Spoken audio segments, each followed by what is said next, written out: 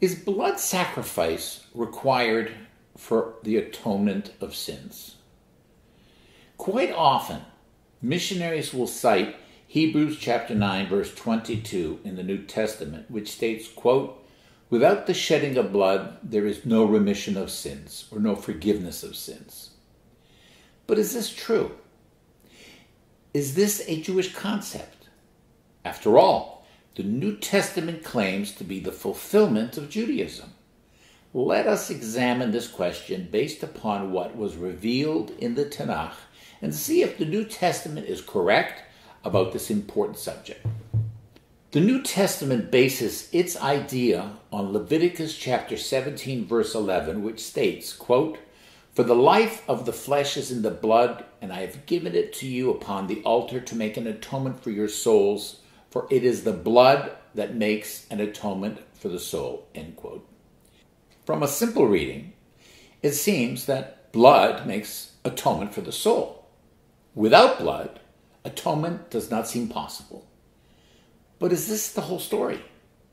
We must always ask ourselves what is the full context of this verse? So let's have a look. Quote If anyone of the house of Israel or of the strangers who reside among them consumes any blood, I will set my face against that person who consumes blood and I will cut that person off from the people. For the life of the flesh is in the blood, and I have given it to you for making atonement for your lives on the altar. For as life, it is the blood that makes an atonement.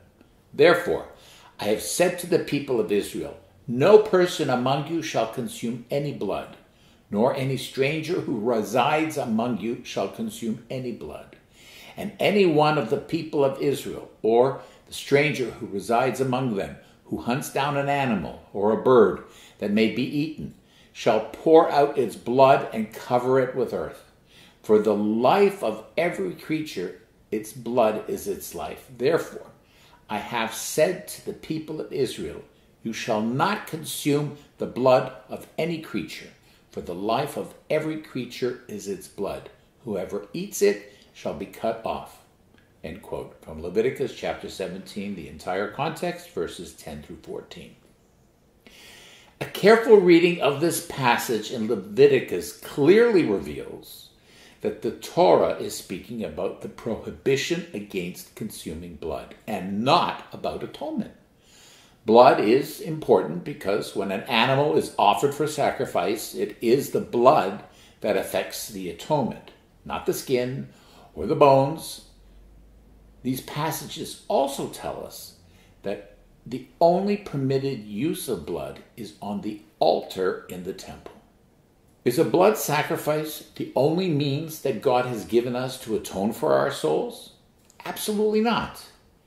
Just as a store allows us to pay by cash, or check, or credit card, so too God allows us many ways to atone for our souls. To appreciate this concept, we examine the New Testament quote that the missionaries used to make their case. We discover that not only do they take verses from the Tanakh out of context, but they also do the same thing with the New Testament verses. The entire verse from the New Testament reads, quote, and almost all things are by the law purged with blood, and without shedding of blood, there is no remission of sins or forgiveness of sins. Hebrews chapter 9, verse 22. Almost all things, this is what Hebrews says. Certainly, Paul was aware that the atoning power of blood did not cover everything, and that other means for atonement were available. Let's examine the Tanakh to see where atonement was achieved without blood. If a person cannot afford an animal to sacrifice, is atonement therefore impossible for him? Quote, but if he is not able to bring two turtle doves or two pigeons, then he who sinned shall bring for his offering the tenth part of an ephah of fine flour for a sin offering. Then shall he bring it to the priest, and the priest shall take his handful of it, a memorial part of it, and burn it on the altar according to the offerings made by fire to the Lord. It is a sin offering. And the priest shall make an atonement for him in regards to his sin that he has sinned in one of these, and it shall be forgiven him, and the remnant shall be the priest's as a meal offering. This is from the book of Leviticus, chapter 5, verses 11 through 13. In fact, sacrifices in and of themselves were never able to absolve the person who committed the wrong. Many Jews in biblical times made the great mistake of assuming that the critical antidote to sin was the shed blood of a sacrifice. In the book of Proverbs, King Solomon warned that, quote, the sacrifice of a wicked person is an abomination to God. In chapter 15, verse 8, and 21, verse 27 of the book of Proverbs. Ultimately, a sacrifice was only meaningful when it truly represented a sincere change in the heart and the actions of the person seeking forgiveness. This reformation of the sinner and his returning to God, or tshuva, is the true repentance that God desires and is the only means to achieve forgiveness. Quote, Bring no more vain offerings, incense of abomination they are to me. Wash yourselves, make yourselves clean. Put away the evil of your doings from before my eyes. Cease to do evil. Learn to do well. Seek judgment. Relieve the oppressed. Judge the orphan and plead for the widow. This is from Isaiah chapter 1, verses 13 through 17. Another quote The sacrifices of God are a broken spirit, a broken and contrite heart. These, O God, you will not despise. Psalm 51, verse 19. King David desired Bathsheba, and he therefore sent Uriah, her husband, to the front lines of battle to be killed. When the prophet Nathan confronted David of his sin, he repented and was forgiven. Because sin offerings were only brought for unintentional sins, as we see in Leviticus chapter 4, no blood offering was involved in David's atonement process, and no sacrifices mentioned in this story. Quote, and David said to Nathan, I have sinned against the Lord. And Nathan said to David, Lord also has put away your sin you shall not die. 2 Samuel chapter 12 verse 13. Nineveh was a sinful city comprised solely of Gentiles and described in the book of Jonah. Quote, Arise, go to Nineveh, the great city, and cry against it, for their wickedness has come up before me. And the people of Nineveh believed God, and proclaimed the fast, and put on sackcloth, from the greatest of them to the least of them. And word came to the king of Nineveh. And he arose from his throne, and he took off his robe, and covered himself with sackcloth, and sat in ashes.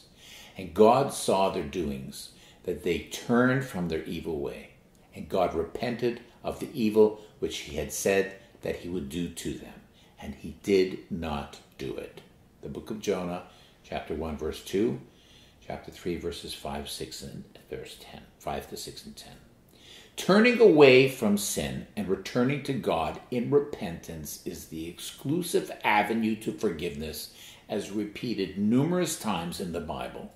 Quote, it may be that when the house of Judah hears of all the disasters I intend to do to them, that all of them may turn from their evil ways, so that I may forgive their iniquity and their sin. Jeremiah chapter 36, verse 3. Another quote. Let the wicked forsake their way, and the unrighteous their thoughts.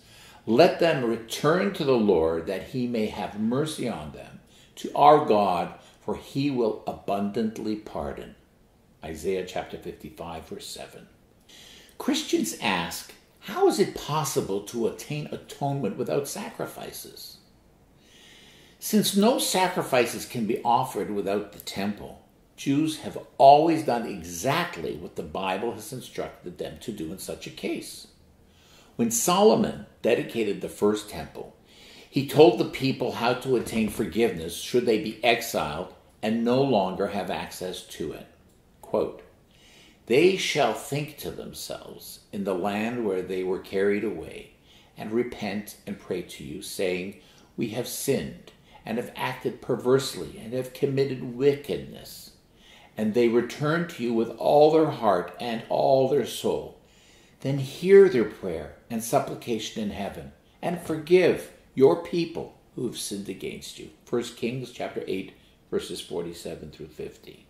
Hosea prophesied to the ten northern tribes of Israel who were unable to go to the temple in Jerusalem because of the civil war and provided an admonition from God applicable to all of us. Quote, O Israel, return to the Lord your God, for you have stumbled in your iniquity.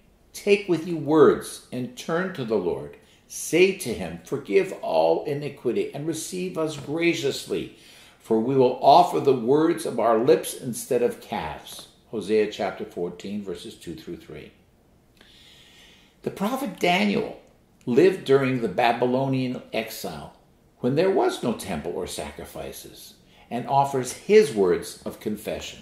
Quote, We have sinned and we have committed iniquity and have done wickedly and have rebelled and have departed from your precepts and from your judgments. Daniel chapter 9, verse 5. And his plea for forgiveness is as follows quote, To the Lord our God belong mercy and forgiveness, for we have rebelled against him. O Lord, according to all your righteousness, I pray you, let your anger and your fury be turned away from your city, Jerusalem, your holy mountain, because for our sins and for the iniquities of our fathers, Jerusalem and your people have become a reproach to all those who are around us. Daniel 9, verses 9 and 16. Daniel asked God for forgiveness for himself and his people, knowing that he could not offer blood sacrifices. Would Daniel pray for something inaccessible? Of course not. Daniel knew the teachings of Solomon and Hosea as well as the words of Nathan the prophet concerning King David's forgiveness.